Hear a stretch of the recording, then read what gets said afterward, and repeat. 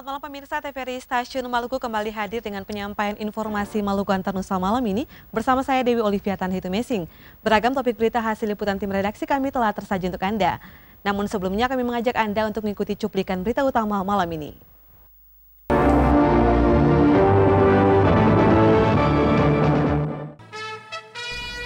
Air laut dan ombak besar yang menghantam pesisir pantai Kota Namrole, Kabupaten Buru Selatan membuat warga panik.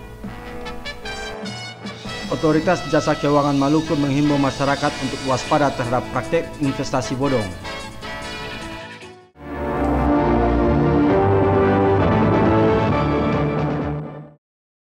Demikian berita utama malam ini, kini ikutilah berita selengkapnya.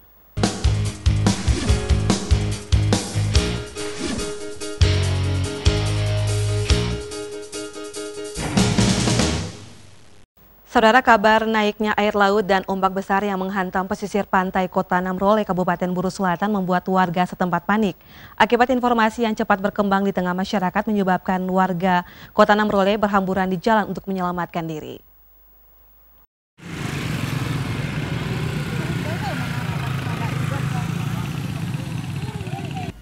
Ombak besar yang menerjang kota Namrole terjadi sekitar pukul 3 dini hari. Masyarakat yang mendapatkan informasi tersebut panik berhamburan dan mencari tempat yang lebih tinggi yang dianggap aman. Di sejumlah jalan bahkan sebagian warga berlari mencari tempat perlindungan yang lebih tinggi.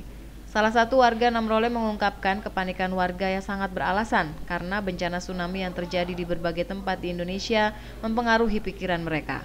Akibatnya warga yang berada di pesisir pantai mengalami trauma terhadap berbagai kejadian yang pernah terjadi di Indonesia yang banyak menimbulkan korban. Sementara itu, berdasarkan rilis dari Badan Meteorologi, Klimatologi, dan Geofisika Stasiun Geofisika Ambon menyebutkan telah terjadi gempa dengan kekuatan 3,4 skala Richter Kamis dini hari sekitar pukul 1 waktu Indonesia Timur pada titik koordinat 4.04 LS 126.56 Bujur Timur dengan kedalaman 31 km barat daya Namrole, Kabupaten Buru Selatan. Data dari BMKG menyebutkan gempa tersebut tidak menimbulkan tsunami. Saat ini kondisi kota Namrole sudah aman. Warga yang mengungsi mulai berangsur pulang ke rumahnya masing-masing dan melakukan aktivitas seperti biasa. Kontributor TVRI Stasi Jawa melaporkan.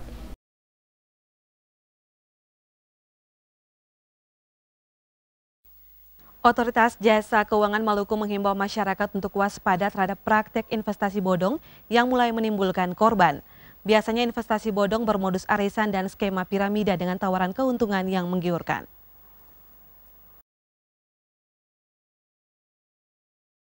Otoritas Jasa Keuangan Maluku menilai berbagai modus digunakan para pelaku investor bodong.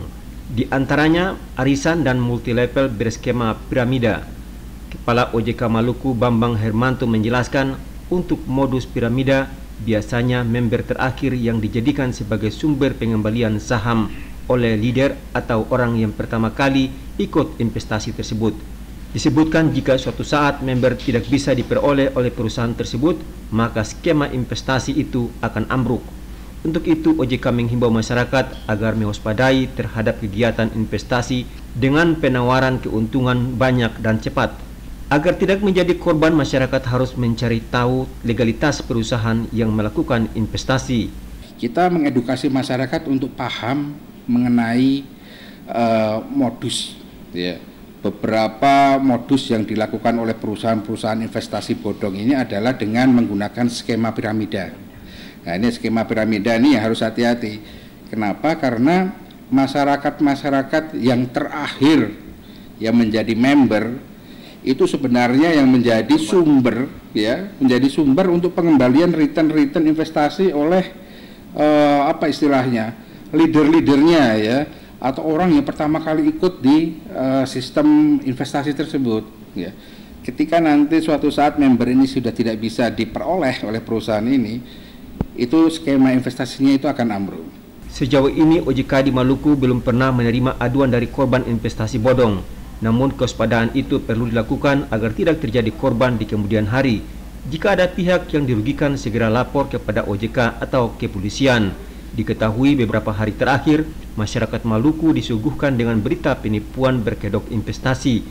Tersangka yang melaksanakan penipuan telah ditahan polisi setelah adanya laporan dari puluhan korban. Hamzah Tomia dan Junaidi Asril melaporkan. Memasuki musim pancaroba, warga kota Ambon dihimbau untuk terus menjaga kebersihan lingkungan dan kesehatan. Pasalnya pada musim pancaroba, populasi nyamuk demam berdarah sangat cepat berkembang biak.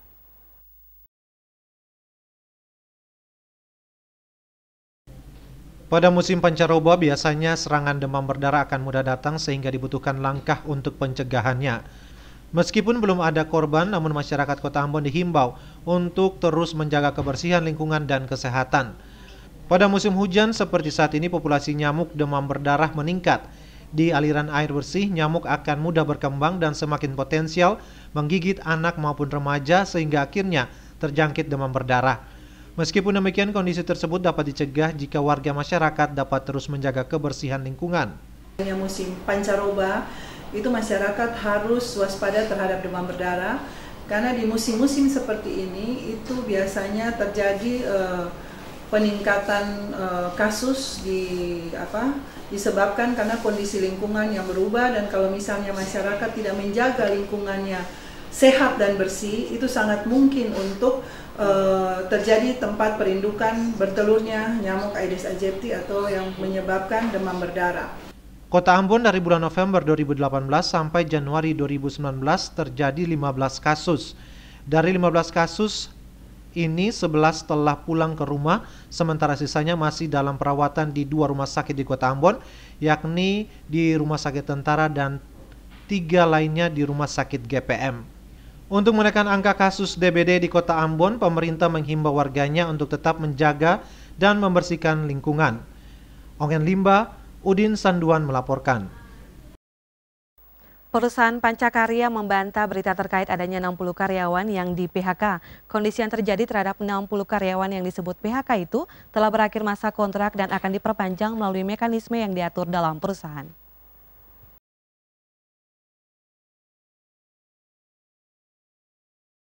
Pemberitaan media massa yang menyebutkan adanya PHK karyawan sebanyak 60 orang di perusahaan daerah Pancakarya dibantah tegas Antonius Sihaloho selaku Direktur PD Pancakarya. 60 karyawan yang diberitakan dipecat itu telah berakhir masa kontraknya per 31 Desember 2018 lalu. Kontrak kerja 60 karyawan tersebut akan kembali diperpanjang sesuai ketentuan perusahaan. Perpanjangan kontrak kerja bagi karyawan Pancakarya akan disesuaikan dengan operasional kapal. Selain itu, manajemen perusahaan juga akan melakukan seleksi bagi karyawan baru PD Pancakarya. Sebenarnya itu tidak memphk itu adalah pengakhiran masa kontrak. Itu kontraknya kan sampai 31 Desember 2018. Tapi kita lanjutkan lagi 2019.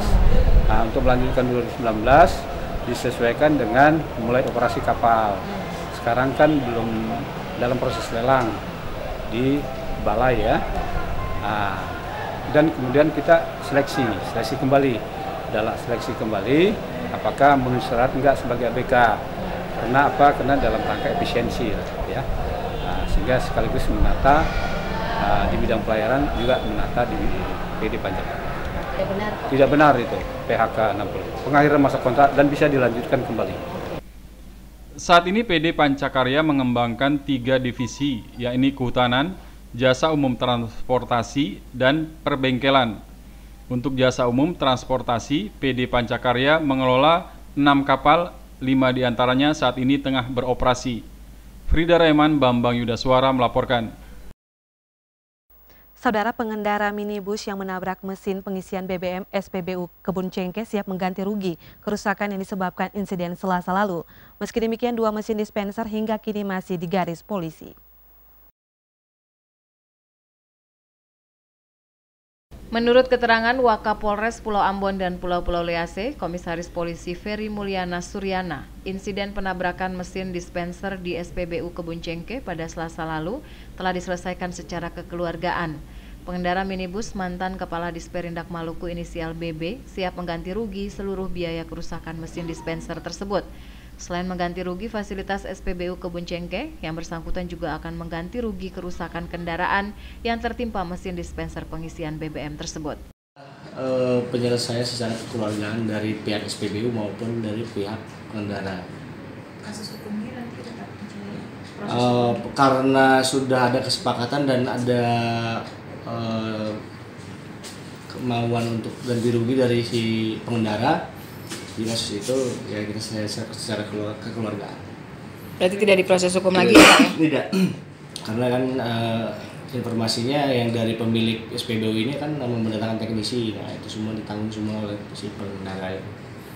Termasuk dengan kendaraan yang di depan yang sebelum ditabrak uh, dispensernya itu ditabrak terlebih dahulu. Dan juga sepeda motor ya? Iya, dan juga sepeda motor yang ada di situ semua yang diganti sama pihak. Kasus ini tidak dibawa ke ranah hukum karena ada etiket baik dari pihak pengendara. Meski demikian, hingga kini dua mesin dispenser pengisian BBM di SPBU Kebun Cengkeh masih di garis polisi. Garis polisi akan dibuka setelah perbaikan mulai dilakukan. Kristin Sipahelut Kurniawan melaporkan. Komisi Pemilihan Umum Kota Ambon menyesalkan adanya caleg yang tidak taat aturan kampanye. Hal itu terbukti dengan banyaknya spanduk dan baliho yang, yang diturunkan aparat Bawaslu karena melanggar aturan zona pemasangan alat peraga kampanye. Ketua Komisi Pemilihan Umum Kota Ambon, Martinus Kainama mengatakan zona pemasangan alat peraga kampanye, caleg dan peserta pemilu lainnya diatur dengan keputusan Wali Kota Ambon. Surat keputusan itu dibuat agar sejumlah pemukiman penduduk tidak terlihat kotor akibat alat peraga kampanye. Dalam surat keputusan wali kota tersebut juga terdapat sejumlah lokasi dan desa yang dilarang pemasangan alat peraga kampanye. Surat keputusan tersebut mestinya telah dipahami oleh calon anggota legislatif maupun calon anggota DPD RI namun kenyataannya ada caleg yang memasang alat peraga kampanye mereka tidak sesuai zona yang ditetapkan sesuai SK Wali Kota Ambon. Selain itu ada juga caleg yang memasang baliho dan spanduk serta stiker di tempat-tempat ibadah dan fasilitas milik pemerintah maupun perkantoran badan usaha milik negara dan badan usaha milik daerah. Ketidaktaatan caleg terhadap aturan kampanye tersebut dapat dilihat dengan banyaknya baliho, spanduk dan stiker yang diturunkan paksa petugas Panwas dan Satpol PP di Desa Waheru dan Nania, Kecamatan Baguala, Kota Ambon. Hanya kalau dikatakan bahwa tidak itu tidak mungkin karena penetapan wilayah-wilayah zona-zona itu kan ditetapkan keputusan balik kota sudah ada. Dan disampaikan Bawaslu dan juga pertemuan yang partai sudah. Tapi itulah kadang kita kadang-kadang gitulah. Alpa sedikit pak mereka pasang sampai di pagar-pagar sampai di jadi wilayah-wilayah yang tempatnya bukan pemasangan spanduk mereka pasang. Nah ini sekarang ditertibkan secara nasional seluruhnya.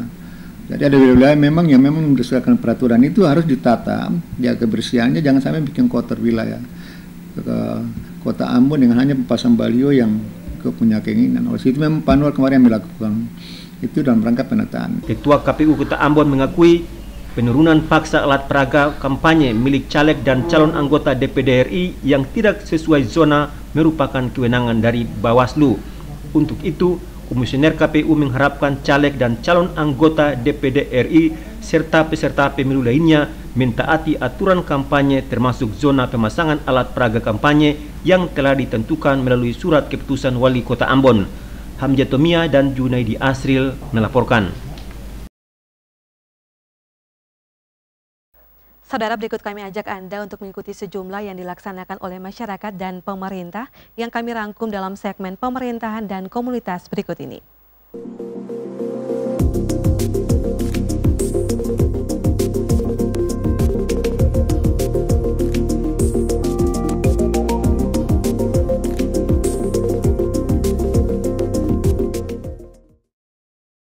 Masyarakat di Negeri Buano, Kabupaten Serang bagian Barat masih melestarikan adat leluhur yang ditinggalkan ratusan tahun lalu. Pelestarian budaya itu sebagai upaya untuk menghormati para leluhur. Raja Negeri Buano Utara Abdul Kalam Hiti Malam menyatakan, upacara adat masih dilakukan tanpa menghilangkan jati diri sebagai anak-anak negeri adat.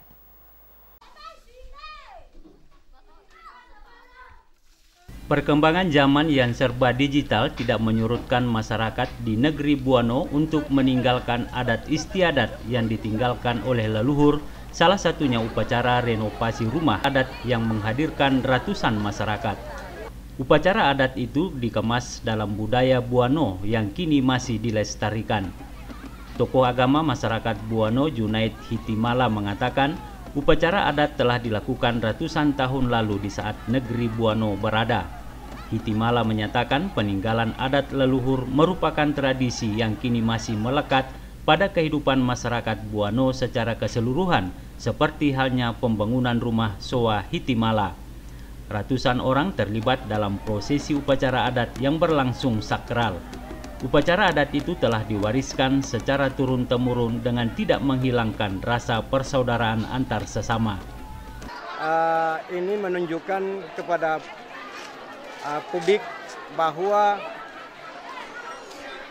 yang kami datang atau terjadinya pemugaran ini untuk pertama-tama silaturahmi, silaturahmi antara masyarakat Buano yang tinggal di seberang atau jauh di tanah orang, tapi ketika pemugaran ini mereka datang. Itu pertama. Yang kedua, dengan pemugaran ini memupuk persatuan dan kesatuan dan uh, apa gotong royongnya, nilai gotong royongnya sangat tinggi. Raja Negeri Buano Utara Abdul Kalam Hitimala mengatakan Buano adalah negeri adat yang melestarikan budaya leluhur yang ditinggalkan ratusan tahun lalu. Hitimala menyatakan prosesi adat merupakan simbol untuk melestarikan budaya yang sebagian negeri telah meninggalkan jati diri sebagai negeri adat. Melalui prosesi adat diharapkan dapat mempromosikan negeri Buano terutama dalam pergelaran upacara adat.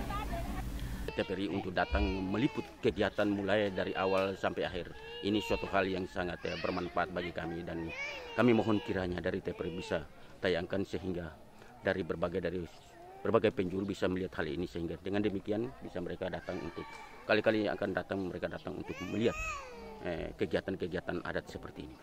Tradisi adat di negeri Buano merupakan cerminan dalam memelihara persatuan dan kebersamaan walaupun upacara adat dinilai keras.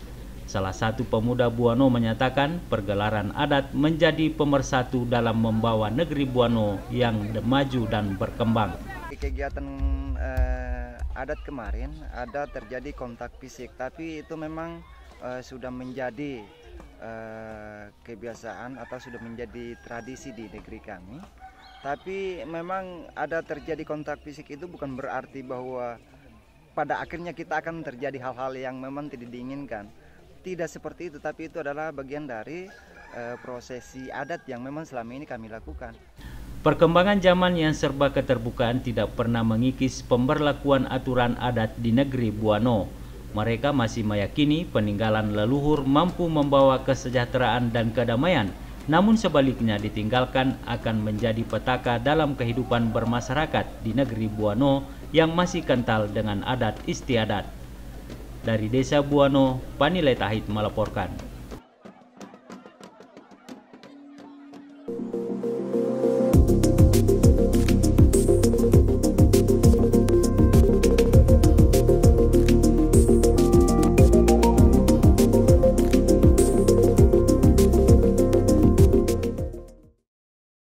Kantor Pelayanan Perbendaharaan Negara KPPN Ambon menggelar refleksi puncak Hari Bakti Perbendaharaan tahun 2019 yang diperingati setiap 14 Januari. Acara ini dihadiri oleh Satuan Mitra Kerja KPPN Ambon.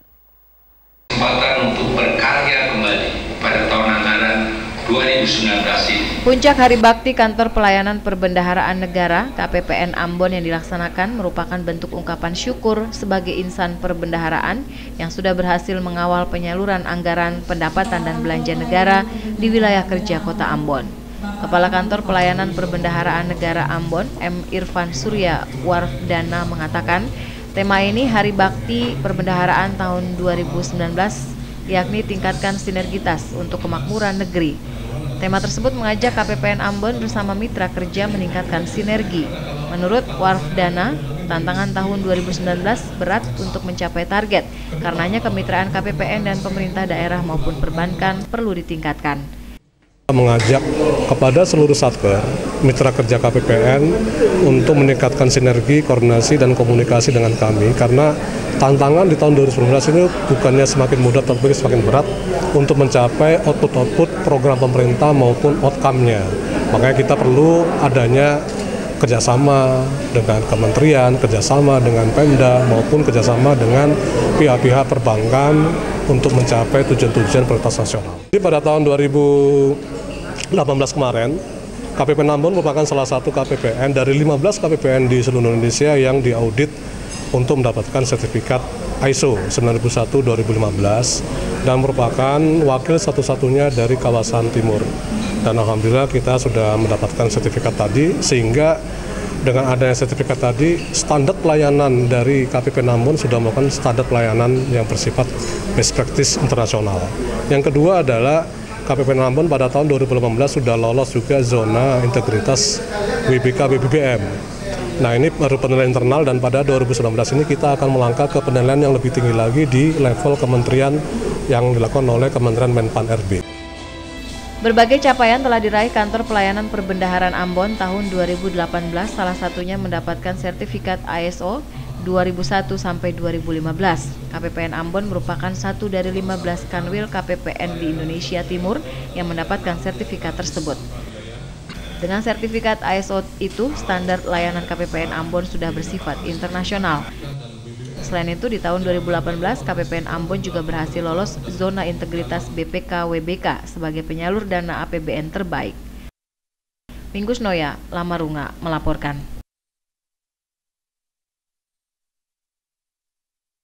Program penataan kawasan kumuh di Kota Ambon melalui program 100 100 Kementerian PUPR hampir rampung.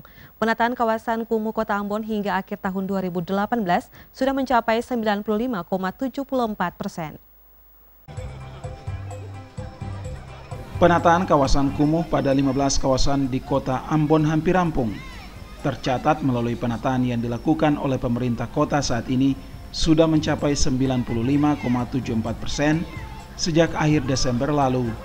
Dari total pekerjaan ini hanya menyisakan 6,79 hektar yang akan dirampungkan pada tahun 2019. Sisa kawasan kumuh yang belum ditata berada di beberapa titik kawasan yang tersebar di kota Ambon, antara lain Karangpanjang, Uritetu, dan Batu Merah. Dengan selesainya penataan kawasan kumuh ini, maka target pemerintah kota Ambon untuk menata 102,64 hektar kawasan kumuh di kota ini tercapai. Hal ini diakui Kepala Dinas Perumahan Rakyat dan Kawasan Pemukiman Kota Ambon Bruri Nanulaita. Menurutnya ke depan dinas akan melakukan evaluasi terkait penataan kawasan kumuh perkotaan dan melihat lagi kemungkinan adanya pertumbuhan kawasan kumuh baru. Menurut Nanulaita diperkirakan masih ada kawasan kumuh di Kota Ambon. Hal ini kemudian akan diinventarisasi untuk dibahas bersama wali kota guna menyelesaikan persoalan itu. Penataan kawasan kumuh ini kan sekarang kan diharapkan juga harus uh, bukan ansih pemerintah yang harus uh, bisa bergerak sendiri. Diharapkan juga bahwa masyarakat yang ada di situ juga harus bisa terlibat. Kan kalau tadi belajar hidup sehat, yang terjadi masyarakat itu berperilaku secara baik. Nah, bagaimana masyarakat bisa bersama-sama dengan pemerintah menata lingkungan itu, gitu ya? Kita kira uh, kalaupun ketidakpedulian dari masyarakat sendiri juga ketemu kawasan akan tentu hancur. Jadi memang uh, tetap nantinya dalam pola penanganannya tetap kegiatan kegiatan ini kan tetap melibatkan masyarakat supaya bagaimana masyarakat juga yang menata sama-sama dan masyarakat yang bertanggung jawab juga untuk menjaga dan memelihara lingkungan kira-kira Menurut Nanulaita di tahun 2019, Dinas Perumahan Rakyat dan Kawasan Pemukiman Kota Ambon akan melaksanakan sejumlah kegiatan pembangunan, di antaranya lanjutan penataan kawasan kumuh maupun rumah layak huni. Pembangunan rumah layak huni ini sebanyak 183 unit dibangun dengan anggaran DAK. Melkilatus Sawawule Sarlas Bolaman melaporkan.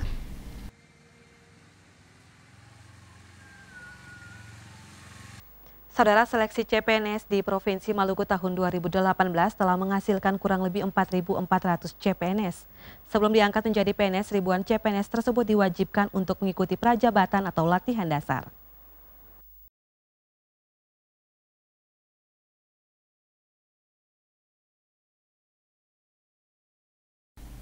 Empat ratus orang CPNS yang dinyatakan lolos dari 11 kabupaten kota di Maluku itu akan menjalani masa percobaan CPNS selama satu tahun. Dalam menjalani masa uji coba tersebut, CPNS yang dinyatakan lolos wajib mengikuti prajabatan atau latihan dasar.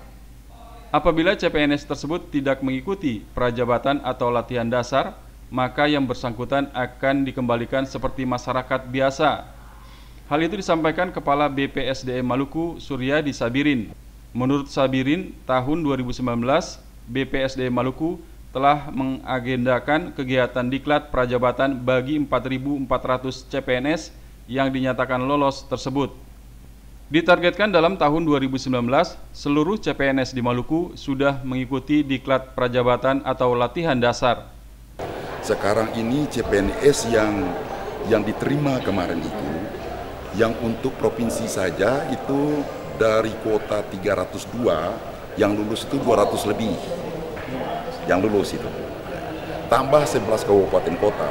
Jadi totalnya sekitar 4.400 orang yang lulus CPNS, persyaratan mereka itu dia menjadi CPNS masa uji coba mereka itu satu tahun.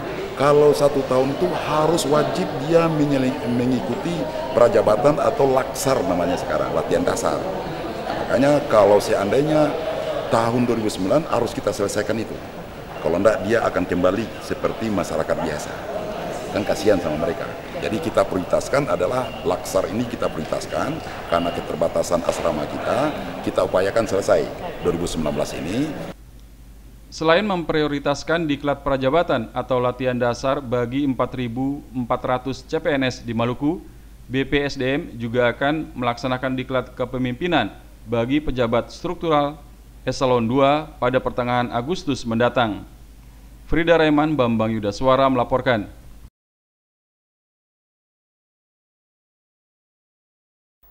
Saudara, sejak dibukanya seleksi pendaftaran Sekdal Maluku Tengah 26 Desember tahun lalu, akhirnya Pemkap Maluku Tengah menetapkan lima nama bakal calon yang masuk seleksi Sekda. Kelima nama tersebut selanjutnya mengikuti berbagai pentahapan seleksi yang diawasi oleh tim asesor.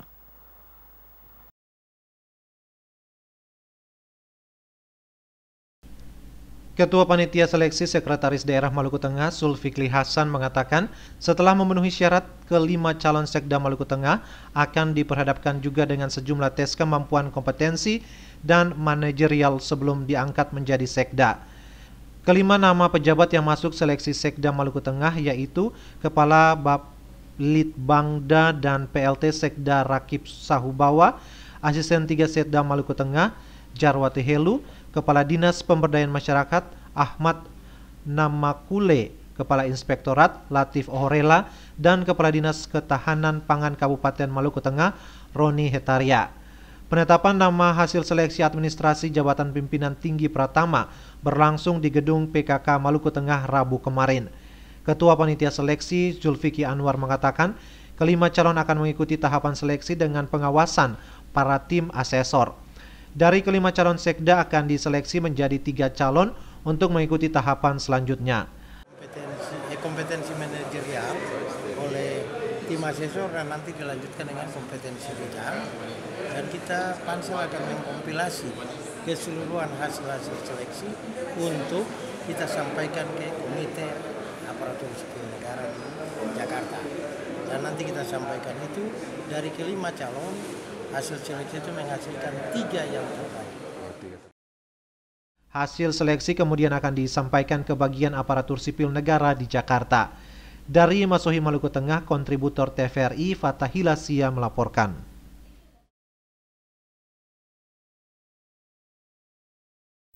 Saudara Lembaga Administrasi Negara Republik Indonesia mempercayakan Badan Pengembangan Sumber Daya Manusia BPSDM Maluku laksanakan diklat kepemimpinan tingkat 2. Cakupan diklat PIM 2 yang, dilaksanakan BPSD Maluku meliputi wilayah timur Indonesia.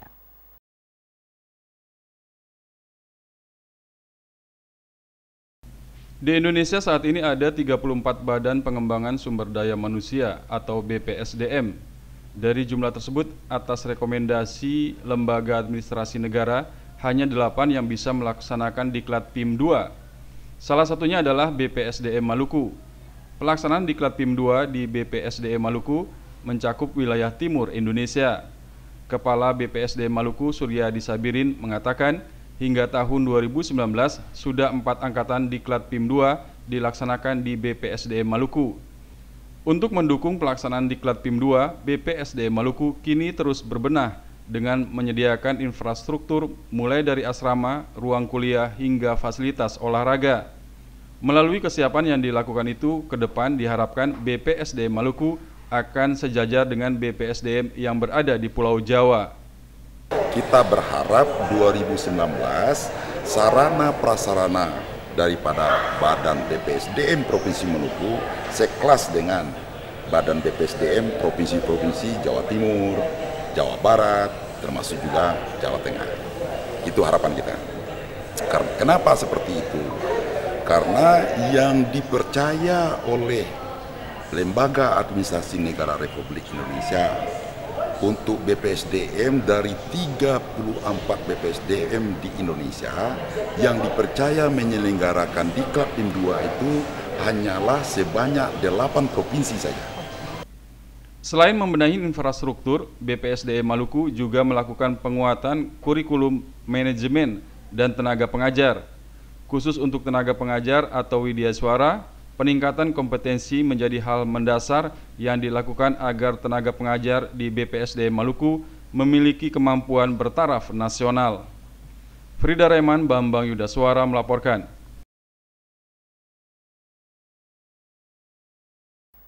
Saudara Dinas Kesehatan Kota Ambon pada Sabtu 26 Januari 2019 akan meluncurkan program Ambon Tidak Merokok. Program ini sebagai upaya mensukseskan program pemerintah Kota Ambon dalam gerakan masyarakat hidup sehat.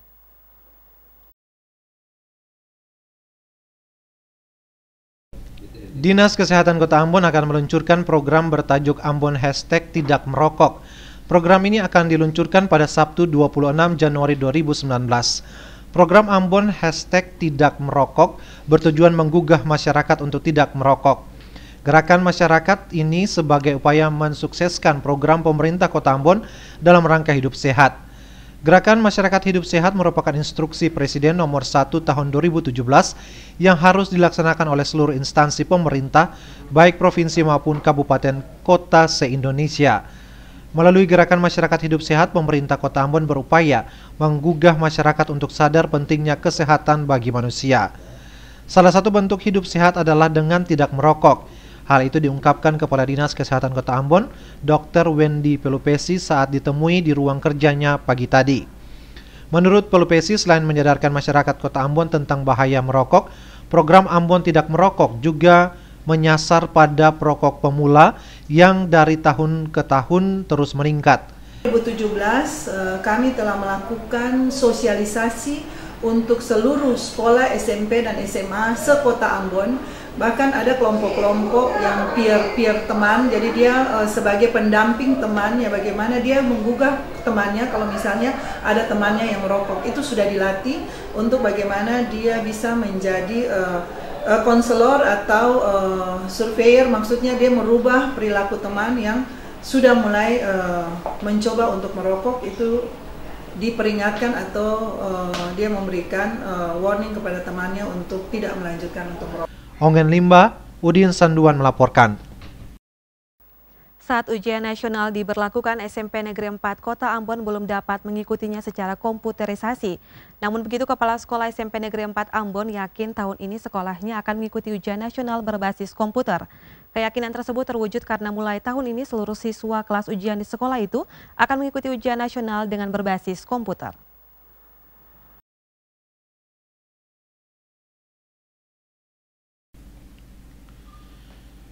Siswa peserta ujian di SMP Negeri 4 Kota Ambon selama ini mengikuti ujian nasional berbasis kertas dan pensil.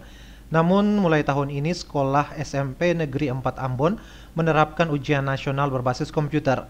Kepala SMP Negeri 4 Kota Ambon, Octavianus Sitiana Pesi mengatakan, selama ini sekolahnya hanya dapat mengikuti ujian nasional berbasis kertas dan pensil.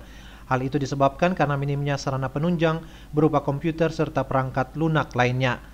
Namun begitu terdapat ambisi dari pihak sekolah agar siswa kelas ujian dapat mengikuti ujian nasional berbasis komputer. Ambisi itu baru dapat direalisasikan tahun ini. Dengan bermodalkan komputer sebanyak lebih dari 80 unit, sekolah akan melaksanakan ujian nasional berbasis komputer secara mandiri.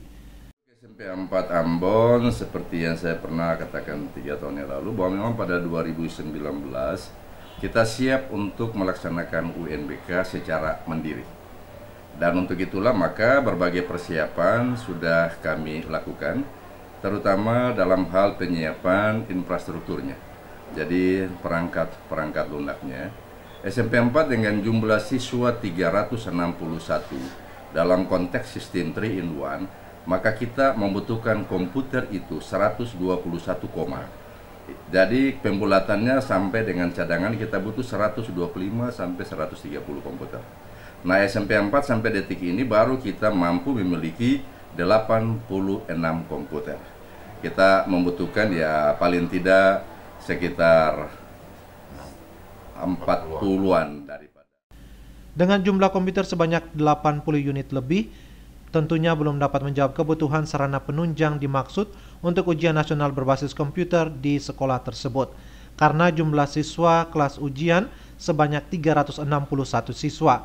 Dengannya sekolah masih membutuhkan 40 unit komputer guna memenuhi kebutuhan komputer untuk ujian nasional berbasis komputer di SMP Negeri 4 Kota Ambon.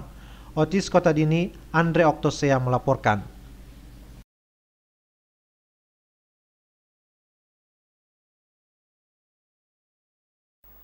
Kepala Dinas Pendidikan Kota Ambon Fahmi Salatalohi menyebutkan 33 sekolah menengah pertama akan mengikuti UNBK tahun ini. Untuk tahun ini mengalami peningkatan dibanding tahun sebelumnya yang hanya diikuti 12 sekolah. Ujian nasional berbasis komputer UNBK untuk sekolah menengah pertama di Kota Ambon tahun ini akan diikuti 33 sekolah. Untuk tahun ini jumlah sekolah yang mengikuti UNBK mengalami peningkatan dibanding tahun sebelumnya, yang hanya diikuti 12 sekolah. Kepala Dinas Pendidikan Kota Ambon Fahmi Salatalohi menyatakan, adanya peningkatan partisipasi sekolah dalam UNBK merupakan inisiatif orang tua dan pihak sekolah. Hal ini terbukti dari adanya siswa yang membawa laptop pribadi untuk digunakan pada UNBK. Menurut Salatalohi, ini merupakan salah satu cara yang dapat mempermudah pihak dinas melengkapi kekurangan untuk proses UNBK. Selain bantuan laptop dari siswa, ada sejumlah sekolah yang melakukan merger atau bergabung dengan sekolah lain yang memiliki fasilitas komputer dan server untuk menggelar UNBK. Hal ini diungkapkan Salatalohi usai mengikuti rapat evaluasi mitra organisasi perangkat daerah bersama Komisi 2 DPRD Kota Ambon. Siap, uh, dinas, dinas pendidikan siap untuk siap untuk pelaksanaan UNBK karena ada peningkatan dari 12 kemarin menjadi 33 sekolah yang akan mengikuti ujian nasional. Tahun ini 33? Ya, 33. Infrastruktur apa aja yang disiapkan Pak? Uh, kemarin saya pantau beberapa sekolah yang sudah mempersiapkan apa sarana dan prasarananya. Ada komputer uh, sekolah yang punya komputernya sudah lengkap, hmm. tapi ada juga yang belum lengkap.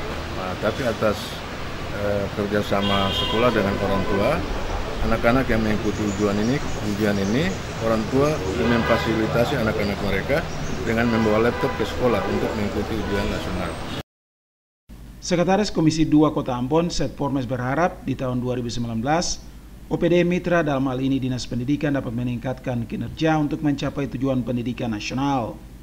Komisi 2 akan mendukung kinerja dinas dalam memajukan sektor pendidikan di kota ini serta visi misi pemerintah kota.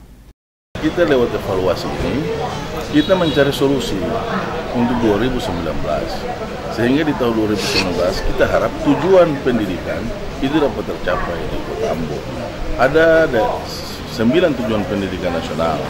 Ya, salah satunya misalnya ujian nasional berbasis komputer. Hampir sebagian besar SMP di Kota Ambon belum melaksanakan UMPK. Nah, ini solusinya apa? Mari kita bicarakan bersama-sama. Dinas Pendidikan tahun sebelumnya telah membantu sejumlah sekolah dengan peralatan komputer. Namun bantuan ini belum cukup untuk mendukung sekolah tersebut mengikuti UNBK. Pasalnya masih banyak sekolah yang masih belum memiliki fasilitas yang memadai. Melki Latusaule Charles Belaman melaporkan. Sekretaris DPRD Kota Ambon Elikopas Siloi mengharapkan peran staf ahli fraksi di DPRD Kota dapat ditingkatkan. Pasalnya selama ini kehadiran staf ahli terkesan sekedar untuk membantu penyusunan kata akhir fraksi. Menurut Siloy, peran dari staf ahli tidak sekedar menyusun kata akhir fraksi, namun peran mereka bisa lebih ditingkatkan. Para staf ahli ini juga bisa diminta masukan dalam pembahasan sejumlah raperda di DPRD. Hal ini dilakukan agar fraksi di Pansus dapat menerima masukan dari mereka. Siloy menyatakan sekretaris DPRD hanya melaksanakan administrasi pengangkatan para staf ahli. Namun para staf ahli merupakan perpanjangan tangan dari partai dalam fraksi di DPRD. Kalau peran mereka yang sekarang di DPRD lebih banyak lebih banyak itu cuma kalau ada mau bikin kata akhir uh, mereka datang lalu membantu membantu untuk menyusun kata akhir fraksi ketika mau ada rapat paripurna. Mestinya mestinya lebih dari itu. Contoh misalnya gini, kita itu kan ada pembahasan-pembahasan raper dan dan yang lain-lain. Mestinya kan mereka-mereka juga kan bisa diminta masukan oleh fraksi yang bersangkutan. Supaya orang-orang fraksi yang ada di dalam pansus juga menerima masukan dari mereka. Melkilatus Saule Sarlas Bolaman melaporkan. Pantai Naku yang terletak di Kecamatan Le Timur Selatan, Kota Ambon menyimpan banyak keindahan. Namun sampai saat ini pantai tersebut belum mendapat perhatian dari dinas terkait.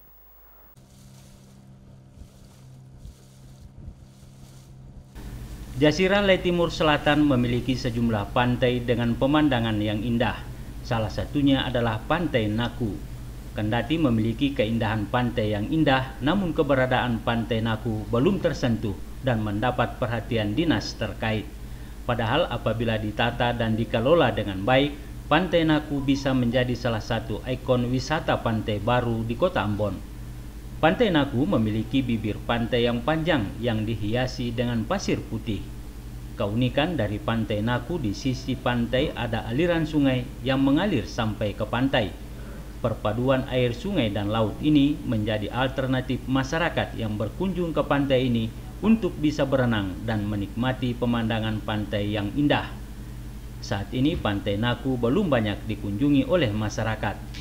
Untuk bisa sampai ke pantai ini, masyarakat dapat menggunakan kendaraan dari pusat kota dan menyewa longboat dari negeri Hukurila sambil menikmati pemandangan alam di sepanjang pantai Hukurila dan Naku. Biaya sewa longboat dari pantai Hukurila ke pantai Naku sebesar Rp100.000.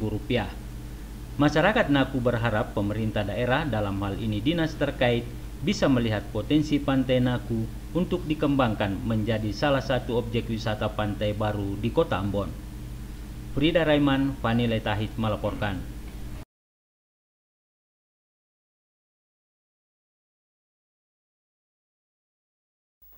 Saudara batu kapal yang berlokasi di negeri Liliboy, Kecamatan Le Timur Barat saat ini banyak dikunjungi masyarakat. Masyarakat yang datang ke lokasi ini hanya ingin berselfie dan menikmati panorama laut dari atas batu kapal.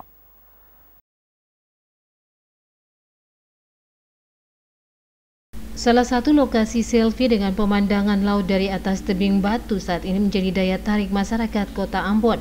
Lokasi tersebut berada di negeri Liliboy, tepatnya di objek wisata batu kapal. Disebut batu kapal karena bentuk dari lokasi ini menyerupai kapal yang tersusun oleh bebatuan besar di bibir pantai. Untuk bisa sampai ke lokasi ini masyarakat harus ekstra hati-hati karena melewati jalan bebatuan.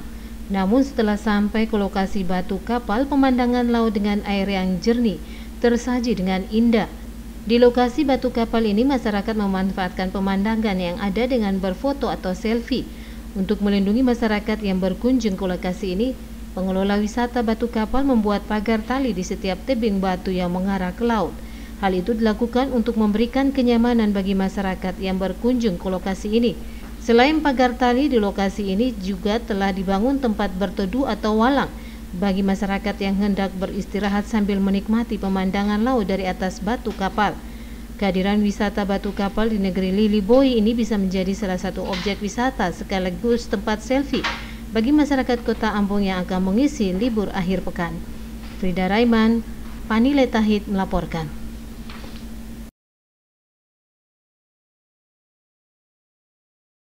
Saudara tanaman obat keluarga atau toga sangat bermanfaat untuk pengobatan alternatif berbagai penyakit. Satu-satunya rumah sakit di Maluku yang mengembangkan toga sebagai bagian dari Tratkom atau tradisional komplementer adalah Rumah Sakit Umum Daerah Dr. Ishak Umarela.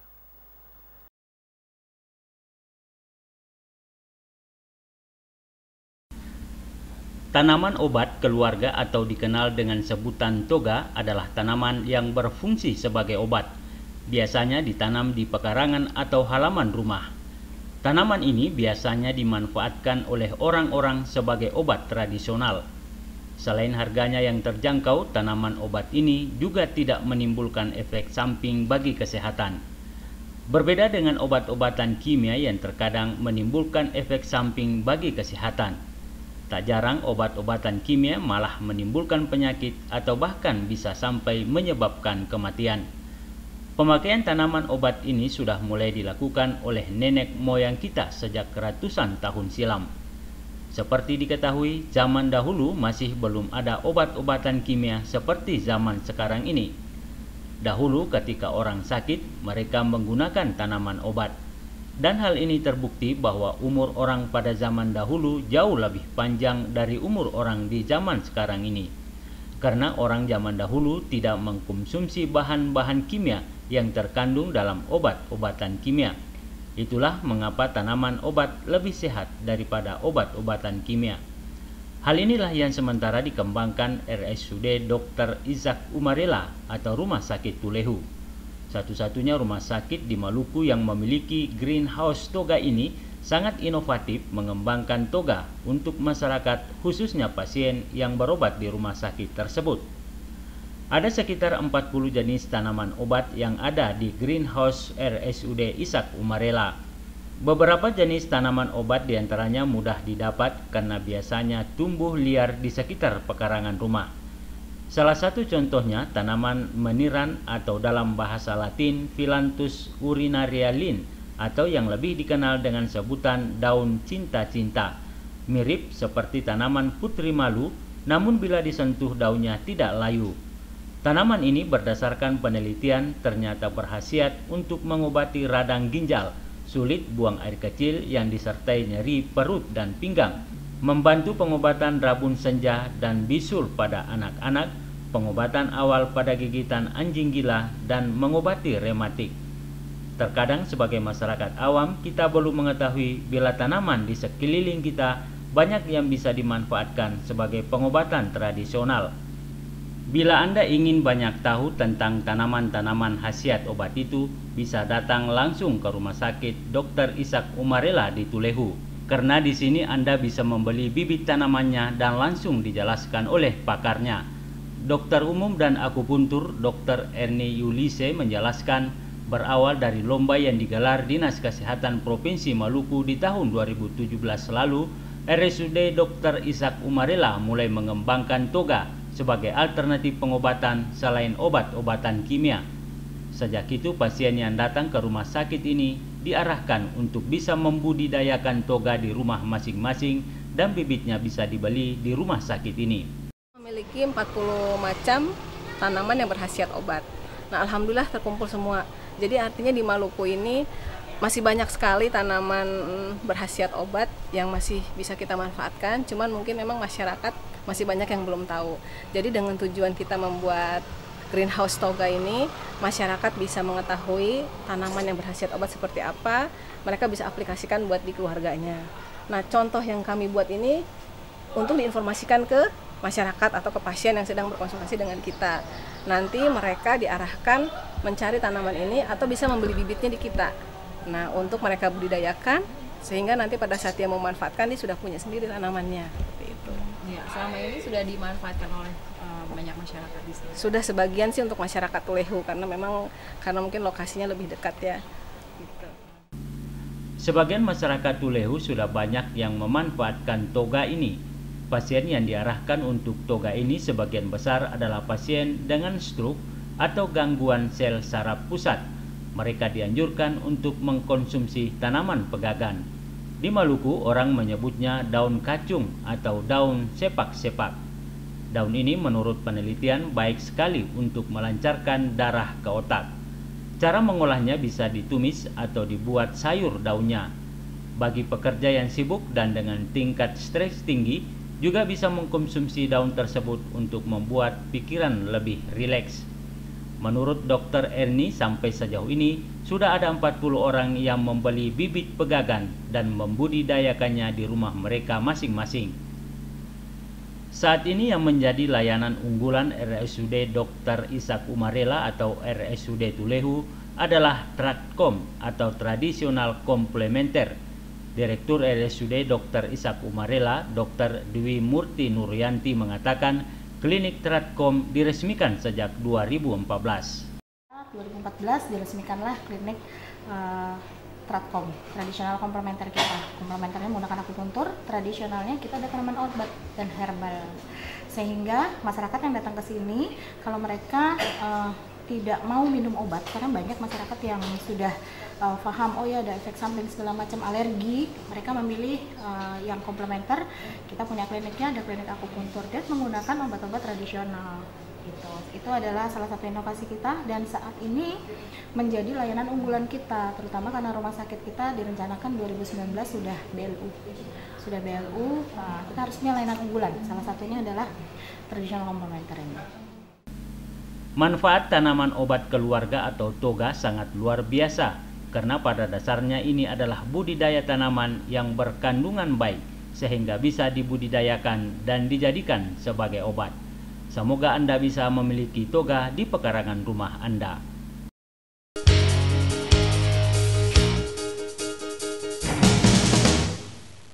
Saudara penyampaian berita, berita tadi mengakhiri Maluku Antar Nusa malam ini. Kami yang bertugas mengucapkan terima kasih atas perhatian dan kebersamaan Anda. Selamat malam dan sampai jumpa.